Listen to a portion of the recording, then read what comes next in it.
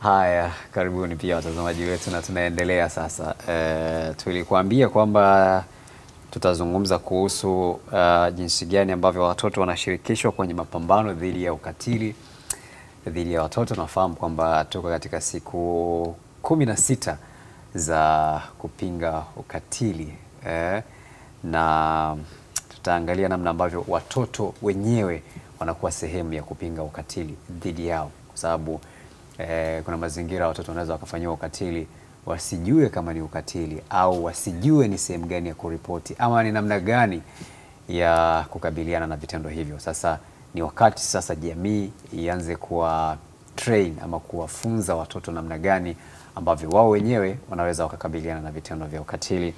Tunao wadau muhimu katika eneo hili eh, kwanza Nyamara Elisha ambaye ni afisa ustawi wa jamii wa mkoa wa Dar es Salaam. Karibu sana Elisha.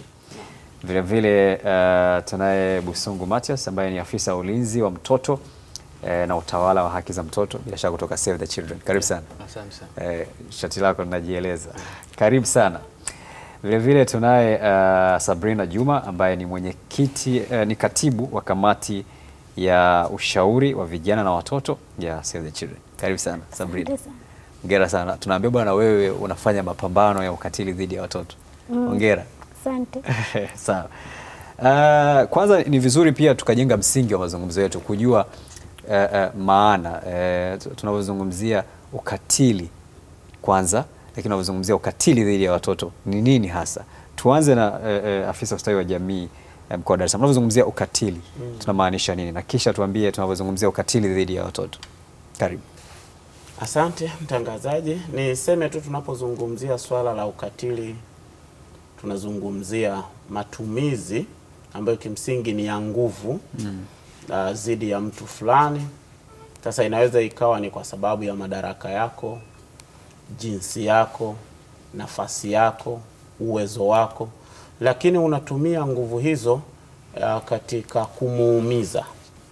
Huo unaitwa unaitwa ni ukatili no. uh, kwa ujumla wake. Kwa hiyo ni matumizi ya nguvu yanayofanywa na mtu mmoja dhidi ya mwingine e, kwa kutumia nafasi yake a, kwa maana ya cheo, kwa maana ya uwezo, lakini pia utawala au jinsi yake dhidi ya huyo ambaye anamtendea ukatili. Mm. Uh, sasa tunapokuja kuzungumzia ukatili dhidi ya watoto ni vitendo hivyo hivyo Yeah. lakini vikifanywa kwa mtu ambaye ana umri chini ya miaka kumi na nane basi hiyo tutasema ni ukatili dhidi ya mtoto. Tukizungumzia uh, vitendo hivi hasa kwa hapa nchini, kwa sababu mmekuwa pia mkihusika na watoto katika maeneo mbalimbali, mm. hali mnaionaje? Uh, hali si shwari, lakini pia kuna unafuu. Kwa mfano ukirejea kwenye ripoti iliyozinduliwa juzi hapa na Mheshimiwa Rais, ripoti ya utafiti wa afya ya uzazi na mtoto viashiria vya malaria mwaka 2022 utaona kitaifa tumepiga hatua hasa kwenye kupunguza mimba za utotoni kutoka asilimia 27 hadi 22 kwa mwaka 2015 16 mpaka huu mwaka huu 2022, lakini kuna baadhi ya maeneo kuna changamoto kidogo, hasa mikoa ya pembezoni. Na ukiangalia Dar es Salaam kwenye ripoti hiyo imeeleza vizuri kwamba e, kupungua kiwango cha kupungua kwa kiwango cha mimba za utotoni kwa Dar es Salaam kidogo imeonekana kasi yake ni ndogo. Hasa ukiangalia e, takwimu zinasema ilikuwa ni asilimia kumi na moja pointi tisa kwa mwaka 2015 16, lakini kwa 2022 Mm. tuna asilimia kumi na nane eh, asilimia kumi na nane pointi moja. Kwa hiyo kuna changamoto kidogo. Sasa hiyo ni hali, lakini matukio yako mengi. Ukiangalia vyombo vya habari vina ripoti kila mahala matukio yanatokea. Ndio. E, kwa hiyo bado jitihada zinahitajika kulingana na changamoto kadha wa kadha. mm. Sawa, Uh, Sabrina, sasa tunataka tujue watoto wenyewe wanauelewa kiasi gani kuhusu uh, ukatili. uh, kwa mfano wewe mwenyewe ni vitu gani ambavyo unadhani ukifanyiwa ama vikifanywa kwa mtoto moja kwa moja vina vinakuwa kwenye kundi la ukatili? Um, tukiangalia kwa asilimia kubwa kuna vitendo mbalimbali vya ukatili ambavyo watoto huwa tunafanyiwa mm. lakini pia huwa tunakosa msaada kwenda sehemu kwenda kutoa taarifa. Sasa vitendo vilivyoshamiri sasa hivi ni vitendo vya ubakaji pamoja na ulawiti. Unakuta mtoto ni mdogo, lakini unakuta anafanyiwa ukatili kiasi kwamba mpaka wewe mwenyewe ukiwa unaangalia unaona kama vile sio sawa, lakini baada ya kufanyiwa vitendo vya ukatili mtoto anakuwa na wasiwasi, kwa anashindwa kwenda kuripoti. Muda mwingine anaweza akapata maradhi au anaweza akafariki pia. Pia tunapata mimba za utotoni. Humo ndani ya ukatili unatokana na ndoa za utotoni. Kwa hiyo unajikuta kutokana tu na vitendo vya ukatili unatokea inatokea ukatili aina za ukatili nyingi nyingi kutokana na ukatili mmoja kama ubakaji. mm -hmm. Ukishambaka mtoto baadaye mzazi anafikiria kuficha aibu yake kwa Yeah. atamwozesha. Akimwozesha mimba za utotoni. Kwa unakuta mtoto amefanyiwa ukatili mmoja lakini unashangaa vinakuja mambo mm. mengi ambayo yanakuja kumwathiri mtoto hapo baadaye. Unamaanisha kwamba jamii inavyoshughulikia ukatili mmoja wa, wa mtoto mm. inaweza ikazalisha pia ukatili mwingine zaidi ukaendelea, sio? mm. Na unadhani watoto wenyewe wanafahamu kiasi gani ama ni kiasi gani sasa kwa watoto ambao labda kwa mfano wewe umeshakutana nao wanauelewa kwamba kwa sababu kuna wengine akifanyiwa kitendo fulani yeye kwa sababu ni mtoto kuna vitu vingi havijui anaona ni kawaida. Kumbe si jambo ambalo angepaswa kufanyiwa. Unadhani watoto wanauelewa kiasi gani kuhusu vitendo wanavyofanyiwa na kujua kutofautisha kwamba hili ni ukatili na hili si ukatili? Um, kwa sasa hivi tunaweza kushukuru kwa sababu kuna asilimia kubwa nyingi ya watoto wanaweza wana ujasiri wa kufunguka na kujua ni matukio gani ya ukatili na kipi si sawa, kwa sababu sasa hivi kuna elimu nyingi zinatolewa, semina nyingi zinatolewa. Hata pia watoto huwa wanashirikishwa katika mbalimbali ambayo wanahusu kama vile siku ya mtoto Afrika siku ya mtoto duniani. Kwa mtoto anaposhiriki anaweza kupata mafunzo mengi mengi, lakini pia serikali yetu imeweza kutusaidia pia katika uundaji wa mabaraza ya watoto. mm. Kuna mabaraza ya watoto ambao kunakuwa na wawakilishi ambao wanabadilika badilika kila kipindi cha muda fulani hapo tulichokubaliana katika baraza. Kwa unakuta watoto wanakuwa wana ujuzi mwingi na wanakuwa na confidence nyingi, kwao wanaweza ni rahisi wao kutofautisha ipi ni ukatili na ipi si ukatili kwao. mm -hmm. mm -hmm. Katika maeneo afisa ustawi ambayo tunatarajia mtoto kuwa salama, ndio sehemu ambazo hivi karibuni tumeshuhudia mtoto anakuwa hayuko salama. Unadhani changamoto hasa ni nini ambayo inapelekea hili kutokea? Uh, tuseme tu kweli changamoto zimekuwepo, lakini sio hivi karibuni. Mm. Kwenye utafiti mkubwa ambao uliwahi kufanyika katika eneo la ulinzi wa mtoto, ni utafiti ambao matokeo yake yalitoka mwaka elfu mbili na kumi na moja. Uh, utafiti ule elfu mbili na tisa elfu mbili na moja utafiti ule ulionyesha unamaanisha Uh, ninamaanisha mwaka elfu mbili na sita Ndiyo. Umoja wa Mataifa ulifanya utafiti wa kuona kiwango cha ukatili mm -hmm. na baada ya matokeo kutoka yakionyesha kwa kiwango kikubwa kuna ukatili, mwaka elfu mbili na tisa Umoja wa Mataifa ulizielekeza nchi wanachama kufanya utafiti kwenye nchi zao. Kwa hiyo sisi utafiti wetu ulifanyika mwaka elfu mbili na tisa lakini matokeo yake yalitoka mwaka elfu mbili na kumi na moja. Ndio. Yes.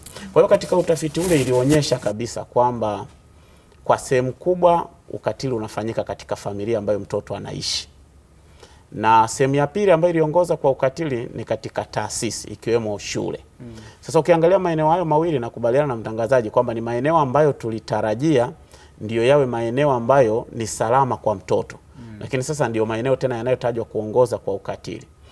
A, mimi nafikiri ziko sababu nyingi. Kwanza kuna swala la mira na desturi katika mazingira hayo, lakini kuna mazoea, ah, lakini kuna uzoefu unaotokana na mira hizo na desturi hizo. Kwa mfano ukirejea katika familia, tunajua wengi labda tumekuwa katika hali ya kupigwa, kutukanwa, kupewa adhabu mbalimbali kama sehemu ya kumtengeneza mtoto ambaye unamhitaji aje awe.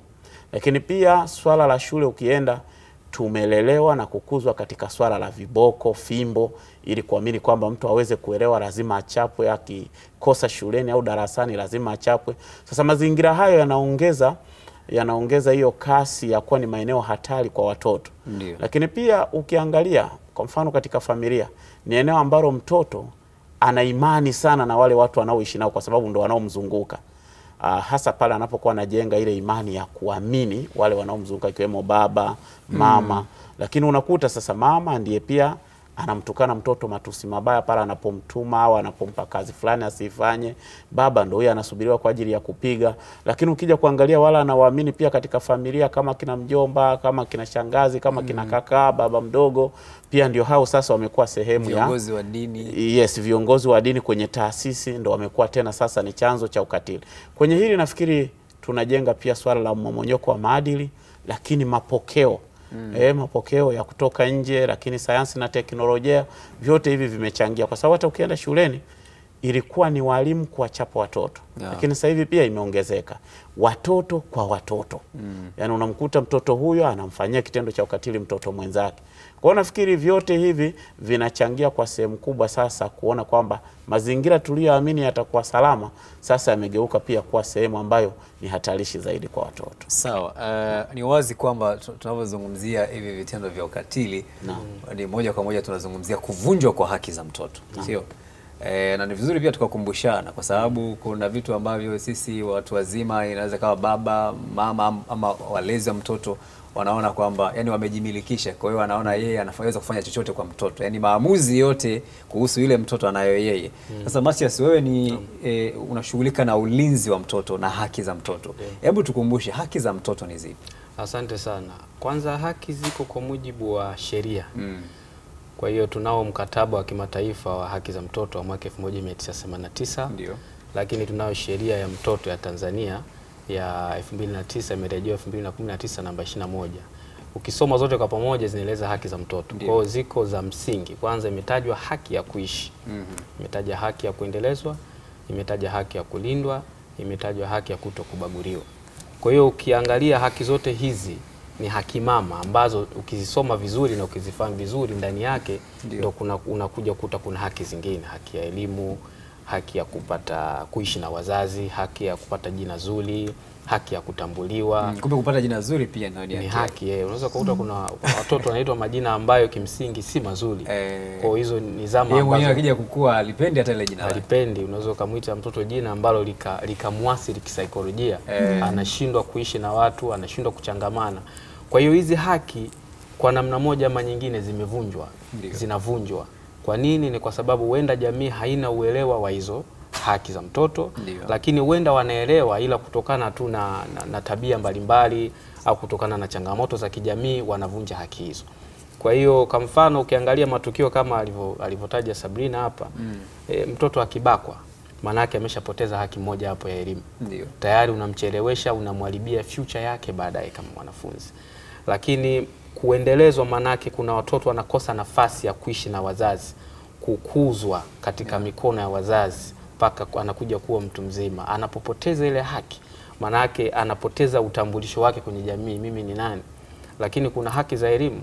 Sasa hivi kuna maeneo mengine eh, nashukuru Mungu tumepiga hatua mm. lakini kipindi cha nyuma walikuwa mtoto wa kike kusoma sio swala la kipaumbele alikuwa apelekwi shule.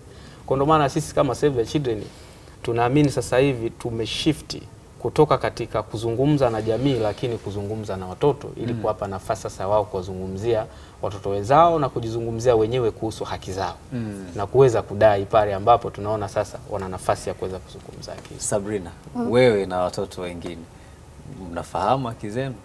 Na pale inavyovunjwa, pale haki inavyovunjwa, haki yako inavyovunjwa, wewe unafanyaje?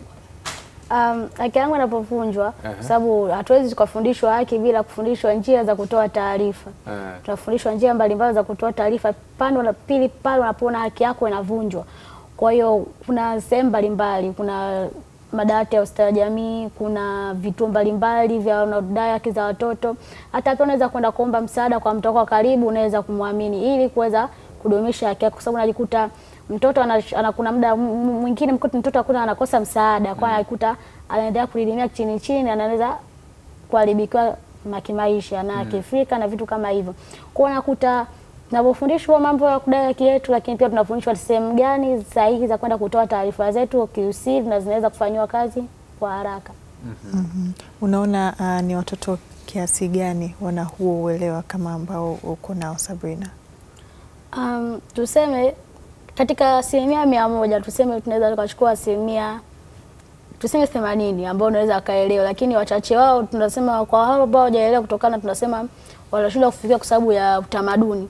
Unakuta mtoto tayari ameshalishwa katika mila ambazo jamii yake imezoea. Kwa mfano, akishafikisha umri fulani anatoka kwenda kuolewa, ishamjengea kwa hata kuja kumfundisha itahitaji muda zaidi, muda zaidi na kujipanga zaidi, ili kuweza kuwafikia zaidi, kwa sababu uwezi jua na watoto wangapi wanapitia hali hiyo na watoto wangapi ambao hawapitii. Kwa hiyo mchakato wa kuweza kuwapa watoto elimu inayohitaji ni mchakato wa muda mrefu, mm. na tunafikiri inaweza tukafikia tamati siku ambayo mm. tatokea Sawa sawa. Eh, afisa ustawi, na. tunafahamu kwamba tunavyozungumzia mtoto tunamzungumzia mtu ambaye yuko chini ya miaka kumi na minane ambaye yuko bado chini ya uangalizi eh? na kama yuko chini ya uangalizi ule uhuru wake pia una mipaka yake na. sio?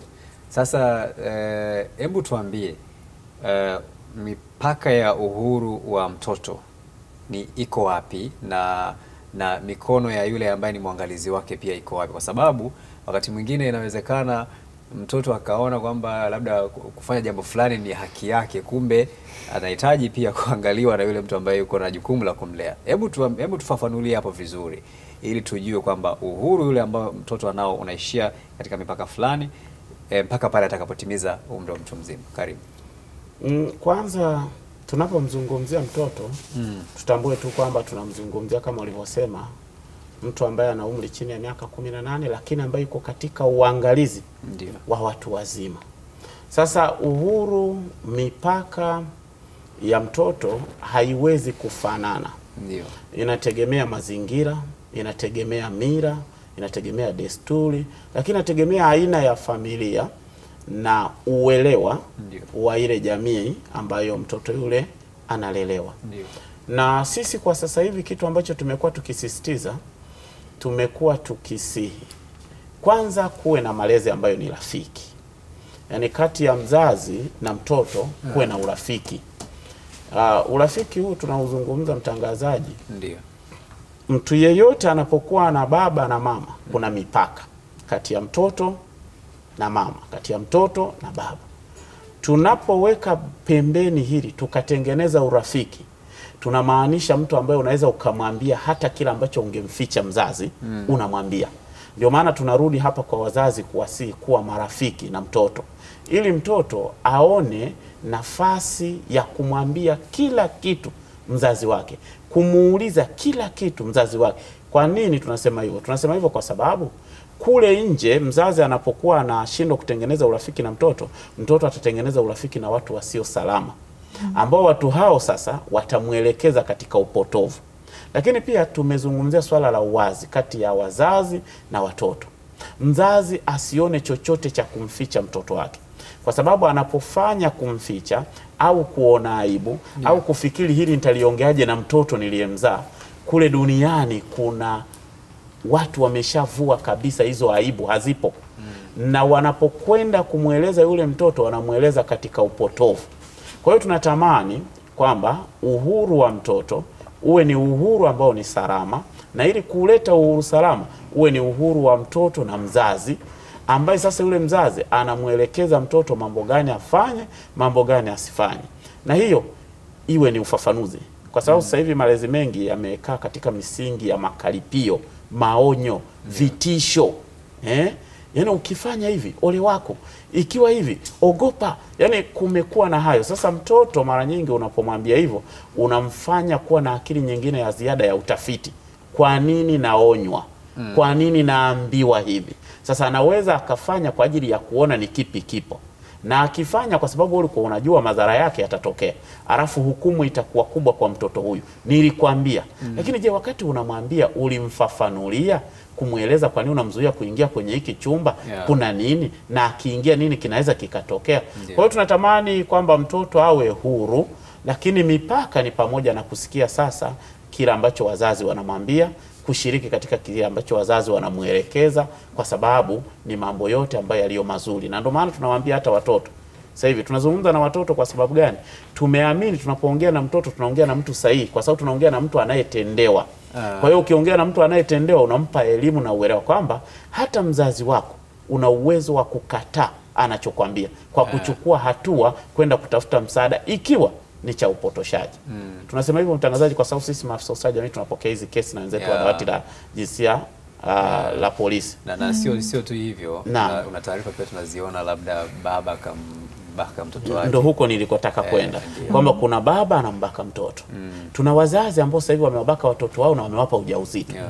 hivi tunavyozungumza tuna watoto wawili ambao tunaendelea kuwalea sisi kama maafisa ustawi jamii lakini ni watoto ambao mabinti wamezaa na baba zao sasa mm. hata kwa baba bado tunawaelimisha watoto hata baba akikwambia kufanya hiki ambacho sasa ni pamoja na ndo hiyo tunawaambia sasa don't touch Mm. kuna sehemu zako ambazo hataki kuziona mtu yote hata kama amekuzaa Mm. kwa hiyo baba anapokuambia vua nguo kama kuna nafasi ya kukimbia kimbia kama kuna nafasi ya kupiga kelele piga tunawaambia watoto kwa sababu ile ya imani ambayo inajengwa. Hiyo ni saikolojia ya watoto. Yeah. kwamba kuna kipindi ambacho anajenga imani kwa baba kuna kipindi ambacho anajenga imani kwa mama. Sasa baba akimwambia vua nguo ana uwezo kwa sababu amemwamini. Yeah. lakini tunamwambia sasa ah, ah, hata kama ni mzazi hivi hatakiwi kuviona.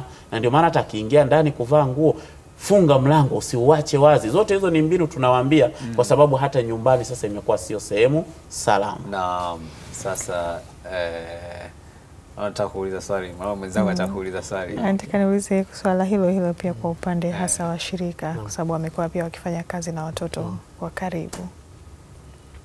Amekuwa vipi pia hasa katika uwezeshaji ambao kama alivyozungumza afisa ustawi? ya kama alivyozungumza ni sahihi kabisa, nasi tunaunga mkono kwamba moja ya haki ya msingi ya watoto ni haki ya kushiriki na kushirikishwa, kwamba kwenye haki ya kushiriki na kushirikishwa kwamba mtoto anapata nafasi ya kutoa maoni juu ya mambo yanayomhusu, lakini kuna kakipengele kadogo anaweza akafanya maamuzi. mm. Maamuzi tunayozungumzia ndio hayo ameyazungumza afisa hapo kwamba pale ambapo unaona upo kwenye mazingira hatarishi ambayo yanapelekea kuvunja au kupoteza haki zako Yeah. basi unaweza ukafanya maamuzi ambao ndo kama hivyo, unaweza ukatoa taarifa, unaweza ukakimbia, unaweza ukapiga ile namba moja moja sita kuomba msaada, unaweza ukaenda kuomba e, usaidizi kwa mtu wa karibu, hasa unayemwamini. Lakini ukiona hauko salama kabisa, ni vizuri ukimbilie sehemu ambayo hata ni, ni, ni kituo cha polisi cha karibu, kwa sababu sasa hivi tumefikia ulimwengu ambapo ukifumba macho bila kumshirikisha mtoto tutajidanganya. Ukizungumza ukizungumza na watoto sasa hivi wanajua mambo mengi Yeah, kuliko sana. watu wazima. Wana, wana, wana nafasi za kushika simu, wana nafasi za kuzungumza mambo mengi, wanakutana na watu wengi. Kwa hiyo ndio maana sisi tunaamini, sisi kama Save the Children tumeamini kabisa kuwekeza kwenye sauti ya mtoto, kuweza kuzijua haki zake, kujua wajibu wake, kuwasemea wengine, kujua changamoto anazozipata kama namna bora ya kuweza kukabiliana na matukio ya ukatili. Sawa, um- umezungumza kuhusu wajibu na haki ni, ni shilingi eh, upande mmoja ni haki, upande wa pili ni wajibu eh, eh, huwezi kupata haki bila kutimiza wajibu Yeah. eh, sasa tunataka tujue, je, watoto wanajua wajibu wao? Eh, Sabrina, najua wajibu wenu? Wajibu wenu ni upi? mm. Na, na pia atakusaidia Matias hapo kwenye kuongezea. Karibu. Um, sisi kama watoto tuna wajibu nyingi sana kwa sababu mm. tunapatiwa haki zetu, tunapatiwa haki ya elimu. Mfano tukipatiwa haki ya elimu, wajibu wetu sisi ni kusoma kwa bidii ili kumuonesha mzazi kwamba tunapatiwa haki hii, tunajua kuitumia vizuri. Kwa hata ukidai haki nyingine mm. anakupatia kwa urahisi bila ya kuwa na vikwazo, kwa sababu una- unatekeleza So wajibu so, wako, shule unakimbia, unakimbia. Mm. yeah.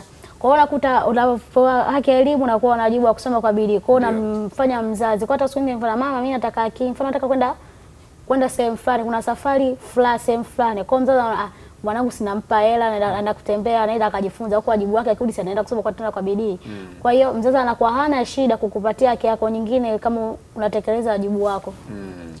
Sawa kabisa. Karibu sana Mati. Yeah, safi sana. Yaani, unajua haki na wajibu havitenganishwi. Eh. Mmoja mm. wajibu wa msingi kwa muktadha wetu wa Kitanzania, mtoto anatakiwa aheshimu wazazi Mm. yaani kwa maana ya watu wanaomzidi umri, lakini anawaheshimu kwa kuangalia wale wazazi, asija akakwambia jambo ambalo likavunja haki yako, kasema anatakiwa tu kumheshimu. mm. Mzazi anataka kuonyesha dalili za kubaka, unasema unatakiwa kumheshimu. mm. Na tunasema mtoto lazima ana wajibu wa kutii na kuheshimu watu wazima Ndio. wanaomzidi umri, lakini mtoto ana wajibu wa kutunza tamaduni za jamii husika, kwa maana kuzienzi tunu mm. za nchi yetu, lakini mtoto ana wajibu kama watu wengine wa kuheshimu sheria za nchi.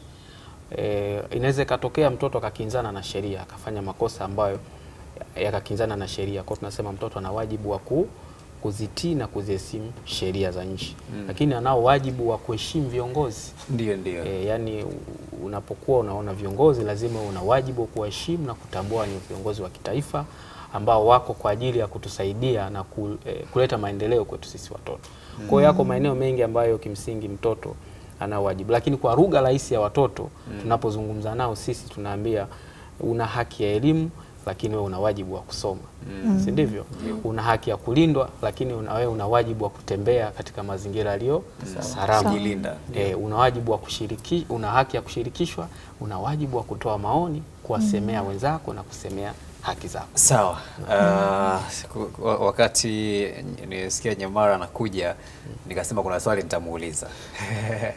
uh, tuko Dar es Salaam. Tuko Dar es Salaam na kitovu cha biashara nchini Tanzania, uh, sehemu yenye idadi kubwa zaidi ya watu, zaidi ya watu milioni tano mm. na ni wazi kwamba ni sehemu yenye watoto wengi zaidi. Eh, ni sehemu ambayo ina kukurukakara nyingi, purukushani nyingi, lakini kitu ambacho ni- nimekuwa nikikiona Dar es Salaam ambacho kinaniumiza moyo sasa, sijui ni kwamba ni, ni swala la kwamba hao watoto wamekosa haki au wameshindwa kutimiza wajibu wao, ila ninachokiona ni kwamba eh, kwa, kwa kipindi hiki cha hivi karibuni tumewaona kuna watoto ambao hawana mwangalizi, wako wana, wanazunguka zunguka barabarani, wengine wanalala kwenye barabara. Na wengine walikuwa wanalala pale kwenye eh, daraja la, la, la Kijazi kwa chini pale na sehemu nyingine e, ukipita kwenye foleni ukisimama wanakuja wa- watoto unaona wadogo ambao wangetakiwa wawe chini ya uangalizi wawe masomoni, lakini ndio shughuli zao na jamii imeshaona ni kawaida. Sasa wewe ni afisa ustawi wa jamii wa mkoa wa Dar es Salaam, uh, hili jambo unalitazama vipi na umechukua hatua gani ama nyie mmechukua hatua gani kuhusu hili? Kwa sababu hapa tunamwongelea mtoto. Mm. Uh, mtangazaji, kwanza nishukuru kwa swali hilo. Ni swali ambalo mara nyingi naulizwa, lakini ni swali ambalo ukilielezea lina, lina, lina historia ndefu, lakini kwa sababu umekuja tu kwenye hatua ambazo tunachukua, kwa hiyo naomba nizungumze hapo. Ni ni jambo la muda mrefu, lakini ni jambo ambalo tumekuwa tukiendelea nalo kwa vipindi vingi vilivyopita, na kwa kipindi cha hivi karibuni tuliamua pia ku, kuingia ndani kutafiti kuona kuna changamoto gani kwenye swala hili, kwa sababu tuna wadau wengi ambao pia wanatusaidia. Kuna Save the Children, kuna SOS Children Village, kuna RCA Railway Africa wanatusaidia na wadau wengine tu. Uh, watoto hawa wako katika maeneo yale kwa sababu tofauti tofauti. Mm. Kwanza ikumbukwe katika tafiti ambazo zimefanyika hapo nyuma imeonyesha tuna watoto wapatao elfu mbili na kadhaa kama na mia nane hivi elfu mbili na mia nane. Lakini katika watoto hao elfu mbili na mia nane kama ulivyosema pia kwa wingi kwa mkoa wa Dar es Salaam una watu wengi na, na, na kuliko mikoa mingine ilionekana katika majiji maarufu ambayo yana watoto hawa katika Tanzania. Sisi tulikuwa na watoto nusu. Yaani nusu ya idadi ya watoto hao ukichukua jiji la Tanga, Arusha, Mbeya, Mwanza, Dar es Salaam ukijumlisha idadi ya watoto walioko huko eh, ambao ni kama elfu tano hivi watoto elfu mbili na mia nane wako Dar es Salaam. Kwa hiyo ni nusu ya watoto hao, lakini kuna kuna kitu ndani yake kimefichika. Watoto wapatao mia tatu kama na ishirini hivi mm. katika watoto elfu mbili na mia nane watoto kama mia tatu na kitu ndio watoto waliokuwa wanaishi mtaani muda wote, yani usiku na mchana, yani wanaishi na kulala mtaani kama ulivyosema mm. kwamba wengine walikuwa na- wanalala so, wanalala hapo Kijazi hapo. mm. Sasa ukichukua ile idadi ya elfu mbili na kadhaa ukitoa hii idadi ya mia tatu unakuta watoto kama elfu mbili na mia tano Maana yake ni watoto wanaotoka kwenye familia alafu wanaingia mtaani alafu baadaye wanarudi kwenye familia. mm. Yes. Sasa tuongelee zaidi. Yes. Sasa tuangalie hili kundi la watoto wale ambao muda wote wamekuwa wakiishi mtaani. Tumekutana nao na tumezungumza nao. mm -hmm. Sababu ziko nyingi. Kwanza kuna swala la ukatili e, ambalo moja ya sababu kubwa tunapoongea nao ni ukatili unaofanyika kwenye familia zao, wanakimbia ukatili. mm -hmm. Lakini mbili, kuna swala lile la ushawishi tu wa makundilika, E, na, na, na unajua Dar es Salaam inavyotazamwa katika mikoa huko ya pembeni inatazamwa katika hali ambayo sisi tulioko ndani hapa tunaweza tukashangaa. mm. Yaani natazama kama ni eneo ambalo hata ukitaka kutembea unaweza ukabonyeza tu kitu kikakupeleka. Eh, Kuosha vyombo kuna sehemu tu yani na switch afu vyombo vinaota. Yaani kuna aina fulani ya maisha ambayo kama mtu huko paradiso hivyo Eh. watoto wanapokuwa wanaambizana na hasa hizi movie maigizo igizo haya yanafanya pia vijana na watoto wanapoangalia yale maigizo wanachukulia maisha ya Dar es Salaam kama ndivyo. Kwa hiyo kuna kudanganyana pia kwenda Dar es Salaam. Ukimsalimia mtu unapata elfu tano. Mtu ukimsalimia tu mtu ana gari anakupatia hivi. Ukimwosha tu kioo. Kwa hiyo ni mambo ambayo wanazungumza yanawavutia kuja Dar es Salaam. Hiyo ni lakini sisi tulichokifanya tumewaondoa wale watoto kwa sehemu kubwa. Sasa hivi ukienda pale Kijazi na hayo maeneo unayasema idadi ilikuwa ni kubwa. Mpaka sasa hivi tumeshaondoa watoto wapatao mia moja themanini katika kipindi cha mwaka mmoja. Tunawapeleka wapi? Tunawapeleka wapi? Tunawapeleka Kurasini. Kuna kituo kinaitwa makao ya watoto Kurasini. Tumewaondoa watoto waliokuwa pale, tumewapeleka Dodoma kwenye makao yetu ya watoto ya Kikombo, mm. alafu kile kimebaki ni kituo kwa ajili ya watoto hao. mm. Na ndio maana tunaendelea kutoa wito, kama umefuatilia kwenye vyombo vya habari na matangazo yetu, watu wasitoe msaada kwa wale watoto. Mwanzoni ilikuwa tusipowapa msaada wanakula wapi? Serikali sasa hivi imenunua kila kitu unachokifahamu, iwe ni magodoro, vitanda, nguo, chakula, vyote tumeweka pale Kurasini. Tuna watoto wanaenda pale wanakula na kulala na kuhudumiwa. Vifaa vya michezo viko pale vimenunuliwa pamoja na wadau. Kwa maana ya kwamba hatuwapi na watoto wanapafahamu, hata wale walioko Kijazi pale ukienda sasa hivi wakiniona mimi, wakimwona afisa ustawi jamii wanakimbia. yake afisa unasema tunavyowapa hizi hela ndo tunaendekeza endelee kuwepo Sio tu barabarani. kuendekeza mtangazaji, kwa sababu ya muda, ni mtaji wa watu, watoto walioko pale. Wakati tunazungumza nao, zile fedha tunazowapa kama msaada si za kwao, jioni wanawasilisha kwa watu. Tukiwa na wenzetu wa jeshi la polisi tumefanikiwa kuwakamata pia baadhi ya watu ambao wanapokea zile fedha. yani mm. unampa ukiona unamsaidia, anaosha kioo cha gari, unampatia zile fedha mm -hmm. ukiamini zinaenda kumsaidia kununua chochote ale, kwa sababu ni mtoto anaishi mtaani, lakini jioni anafanyiwa hesabu ya kuwasilisha zile fedha kwa mtu mwingine na tumewakuta wale ambao walikuwa wanachukua zile fedha wana biashara ya bodaboda mm. yani kwamba mtu yuko pale, mtaji wa wale watoto unampatia fedha, anafanya kitu fulani mm. kwa hiyo ndio maana tumeendelea kutoa wito, jamii isitoe. Usipowapa sio kwamba wanakufa. Tuna kituo kiko Kurasini, mwambie tu pale Kurasini, wote pale wanapafahamu mm. kwa sababu watoto wetu miongoni, tunapowapeleka Kurasini bado kunafanyika mbinu mm. za mtoto fulani anapelekwa Kurasini kama ameenda kwa ajili ya hifadhi, lakini anaenda kushawishi wenzake watoke, kwa sababu mwenye mm. mtaji wake mapato Kwa yameshuka. hiyo hawa ambao wamesalia ni kwamba wamegoma kwenda huko kwenye vituo au wametoroka. Wamegoma, lakini wako wengine ambao wametoroka. Sasa hatuwezi kuwakamata kwa nguvu, kwa sababu ni swala la kwenda kuzungumza. Mnazungumza, ukiwakamata kwa nguvu unakiuka haki za binadamu pia na unakiuka haki za watoto. Kwa hiyo tunazungumza nao anayekubali tunaenda naye, lakini wako wengine wanaruka ukuta, anatoroka, anarudi mtaani. mm. Unajua, mazoea ni yanajenga tabia, mm. kwa hiyo haliwezi kubadilika kwa siku moja siku mbili, mm. lakini ni kazi ambayo tunaendelea nayo, na hata sasa hivi tunavyozungumza, wapo wenzetu ambao wako mtaani wakiendelea kuongea na mtoto mmoja mmoja kwa ajili ya kurudi kwenye kile kituo. mm. kuwahamasisha kwenye- Yes, kuwahamasisha kwa maana ya kuzungumza, kuona kuna changamoto gani, kwa sababu sio kwamba tunaweka tu pale, mm. tunawarudisha makwao, na ndio maana tunasema ni kwa sababu ya muda. Tumewarudisha, ingine, tulikuta kuna msiba ulishafanyika na umeisha, mm. yani wanaamini mtoto wao alishafariki. Yani katika hili kwa sababu tatizo kubwa, lazima tupate muda wa kulifafanua vizuri ili Watanzania waelewe hatua ambazo mnazichukua, kwa sababu sisi ambao tunatazama pale tunaona ni watoto ambao wangetakiwa labda wawepo shuleni kwa ajili ya kutimiza ndoto zao. Naam. Uh, of course tunachozungumza tunapowatoa pale watoto, kwanza pale Kurasini wako ambao tumewapeleka kwenye mafunzo ya ufundi kulingana na aina ya ufundi anaouhitaji lakini kuna watoto ambao tumewarudisha kwenye familia zao, na wako watoto ambao wamerudi katika shule ya msingi wanaendelea na masomo yao vizuri, na sisi ambacho tumekuwa tukikisisitiza kwa watoto hawa Ndio. uh, jamii e, bado tunataka ituunge mkono katika kuwasaidia watoto hawa kwa njia mbalimbali kadiri ya fursa zinazopatikana. Wale watoto ambao wako pale Kurasini, wako ambao tumewarudisha katika ufundi kama nilivyosema, lakini wako watoto ambao tumewarudisha katika familia, lakini wapo watoto pia ambao tunawasaidia kisaikolojia. Wako watoto ambao walikuwa wameshaathirika na masuala ya matumizi ya dawa za kulevya ah, kutokana na mazingira ambayo walikuwa wanaishi, mazingira wanayolala. Tumeendelea kuwasaidia. Wako ambao tumewapeleka pale Temeke, wameenda kupimwa na kusaidiwa na madaktari wale kwenye masuala ya methadoni na madaktari wa mm, masuala ya afya ya akili. wamerudi katika hali ya kawaida na wako gereji wanaendelea kujifunza, lakini wako watoto wengine ambao wamekataa kabisa, hawako tayari kurudi kwenye familia zao. Na sababu Sasa- hasa kuu zinakuwa ni kama zipi kwao kukataa? Wao kukataa Sababu zipi Okay. zinawafanya wakatae? Uh, kule nyumbani ambako wametoka kuna matukio pia ambayo unakuta wameyafanya. mm. Kwa hiyo wanakuwa na hofu ya kile ambacho wamekifanya, ikiwa watarudi nini kitatokea. mm. Kwa hiyo sisi tunachokifanya sasa ni kujenga eh, kuwajenga kisaikolojia ili waweze kurejea katika hali ya kawaida, lakini pia tunawasiliana na maafisa ustawi jamii wenzetu ambao wako katika wilaya na mikoa ile, wanaenda mpaka kwenye familia, wanazungumza na familia zinaweza kuwapokea. mm. Kuna mtoto mmoja ambaye alikuwa amechukua baba alikuwa amezuia pikipiki isi, uh, baiskeli isiondoke pale nyumbani, lakini mtoto ameenda amechukua ile baiskeli ameenda kuendesha. Bahati mbaya ile baiskeli imeanguka ikawa imevunjika. mm.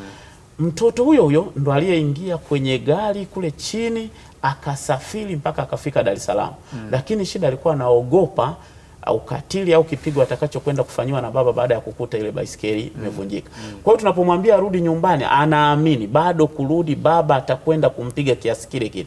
Kwa hiyo mpaka tumekaa naye kwa muda wa miezi mitatu mpaka akaja kukubali kurudi, lakini hawa wengine naye mwenyewe na pamoja na baba, sababu kama amekimbia ukatili alafu mnamrudisha tena kwenye mazingira yale yale, mnadhani mtakuwa mmetatua tatizo? hatumrudishi kwa kumbeba na kumrudisha. Ndio maana tunasema tunawasiliana na maafisa walioko kule, mm -hmm. wanakwenda kwenye familia, wanazungumza na ile familia, familia inakubali kumpokea yule mtoto, lakini kuna mbinu ambazo zinatumika kuona, je, akirudi atakuwa salama? Ndiyo. Kwa sababu uongozi wa mtaa, kijiji nao unahusika katika kumpokea yule mtoto.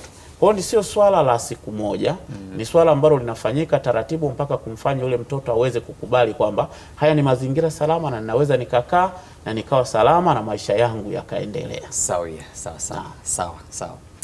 Na tu, yote haya tunazungumza kuhusu uh, ukatili ambao unafanywa dhidi ya watoto na uh, moja ya ukatili ni huo uh, kukosa haki ya ku, kuwa na familia, kuwa ndani ya familia, ku, kupigania ndoto zake, kwenda shuleni na watoto wengine ndo hao ambao tunawa- tunawaona wakirandaranda mitaani, lakini pia moja ya ukatili mwingine eh, ambao unafanywa kwa watoto hasa kwa mabinti ni kuwalaghai na kuwapa ujauzito wangali masomoni na eh, kufanya sasa eh, mabinti hao washindwe kutimiza ndoto zao. Awali tuligusia eh, kuhusiana na ripoti ambayo ilitolewa hivi karibuni kuhusu mimba za utotoni, lakini eh, tujikumbushe pia kile ambacho alikisema hivi karibuni eh, naibu eh, waziri wa TAMISEMI Deogratus Ndejembi ambaye alisema zaidi ya wasichana 1626 walikatishwa masomo kwa sababu mbalimbali ikiwemo kupata ujauzito na sasa wamerejea shuleni tangu kuanza kwa mpango maalum wa kuwarejesha shuleni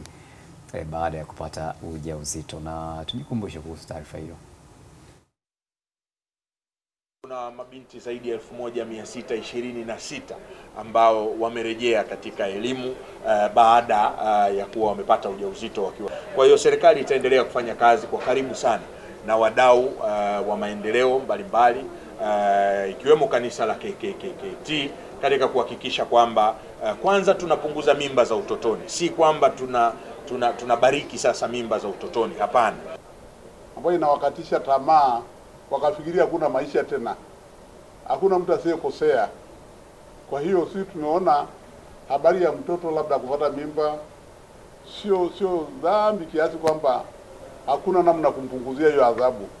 Maana yake kuzuia kwenda kusoma ni kama unampa adhabu.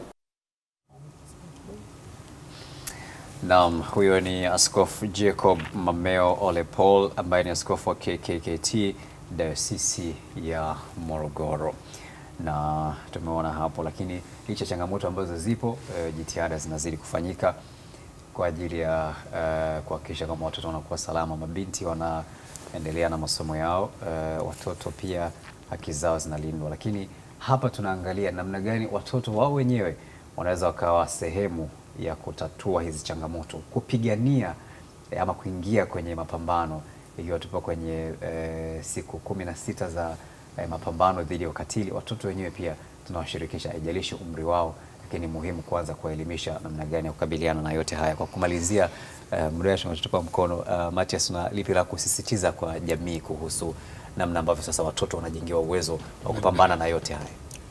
Ah, labda tu kwa kumalizia, mimi ni, ni, ni, ni shauri tu jamii kwamba tuheshimu haki za watoto kwa lugha ya jumla, lakini kwa lugha nyepesi Ndio. Tuache vitendo vya ukatili. mm. Tunaharibu baadaye ya watoto, lakini la muhimu zaidi tuwapatie nafasi ya kushirikiana na watoto, yaani wazazi wapunguze lile gap, wapunguze ile, ile nafasi ya kuto Ndiyo. kuchangamana na watoto. mm. Ni lazima wazazi wajenge ukaribu na watoto. Unapojenga ukaribu, unatoa nafasi ya mtoto kuzungumza na mzazi. Mzazi unaweza kujua mtoto ana changamoto gani, lakini mtoto ndivyo anavyozidi kujenga urafiki na wewe, na inakuwa rahisi sana kumsaidia. Hilo ni moja, lakini la pili e, ni kuendelea kuimarisha maeneo yetu kimsingi kama mwakilishi kutoka serikalini. Na zile kamati za mtakuwa. Ni, ni kuzidi kuziwekea nguvu. Kwa ule mpango utakapotoka sasa, maana tulionao umeisha, lakini ule utakaokuja mwingine ni kuwekea msisitizo hasa bajeti, kwa maana zile kamati ziweze kufanya kazi vizuri. Lakini lingine natamani kuona ule mchakato wa sheria ya, ya ndoa ile mm. unaenda kwa haraka ili kukizi matakwa ya kisheria kwamba mtoto anasoma, lakini mifumo yetu ya kitaasisi, mifumo yetu ya sheria inatambua kwamba mtoto anatakiwa apate elimu. Eh, kabisa kwa sababu kama e, mtoto anatakiwa kusoma mm. alafu katika umri huo bado tena anaruhusiwa kuolewa kuolewa kuolewa e, inakuwa ni changamoto. inakuwa ni changamoto. Yani maanake ni kwamba sasa sheria zenyewe zinakinzana. zinakinzana. Kwa hiyo yani serikali iongeze e, speed ili kufikia utimilifu wa, wa sheria hiyo. Najua mm. wapo kwenye hatua nzuri ya kukusanya maoni na ninajua bado wana nia njema na watoto, mm. lakini la muhimu ni kuongeza tu ile speed ili kuhakikisha tunafikia ukamilifu. na utashi wa kisiasa ndio unaohitajika. Uh, Sabrina, kwa kumalizia, una lipi la kusema? Um, kwa mimi ningekwenda kuhusia katika mimba za utotoni. Yeah. Um, nilikuwa tunaomba serikali yetu iweze kuweka ni sema mazingira rafiki ya mtoto kuepukana na mimba za utotoni. Kwa mfano kuweka shule karibu na maeneo ya watoto ambao wanaishi, kwa sababu unakuta kuna baadhi ya maeneo kuna mtoto itabidi atembee umbali mrefu kufika shuleni, hasa so maeneo ya vijijini. Kwa hiyo unakuta mtoto anatembea umbali mrefu kutoka nyumbani mpaka shuleni, hapo njiani hatujua anakutana na kitu gani ndio hapo wanaweza kupata mimba za utotoni. Kwa serikali ya- waboreshe zaidi miundombinu na kuleta shule karibu zaidi mtoto alipo, ili kuweza kumjengea mtoto mazingira rafiki ya kusoma na kuepukana na mimba za utotoni. Naam, shukrani sana uh, Nyamara, tumalizie, lakini tuambie zaidi pia. Tumesikia kuhusu uh, wiki ya ustawi wa jamii ambayo mnaianza hivi karibuni. Naam. Kwa ufupi, karibu. Asante sana. Niseme tu kwamba ni kweli tuna maadhimisho ya wiki ya ustawi wa jamii ambayo yataanza tarehe kumi na tatu. Mwezi huu na tutaenda mpaka tarehe kumi na nane. Lakini lengo ni hilo hilo, tunasogeza huduma za ustawi wa jamii kwa jamii, kwamba jamii inaweza ikatukuta sehemu moja kwa wingi wetu na tukatoa huduma za pamoja.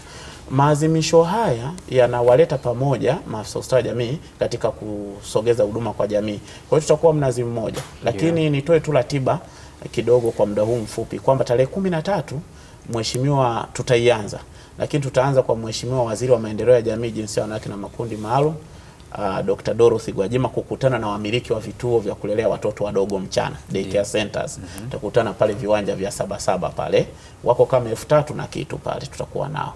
Lakini tarehe kumi na nne tutahamia viwanja vya Mnazi Mmoja ambapo huduma sasa pale zitazinduliwa na naibu waziri wa maendeleo ya jamii uh, Mwanaidi Ali Hamisi. Tutakuwepo tarehe kumi na nne, kumi na tano, kumi na sita na kumi na saba.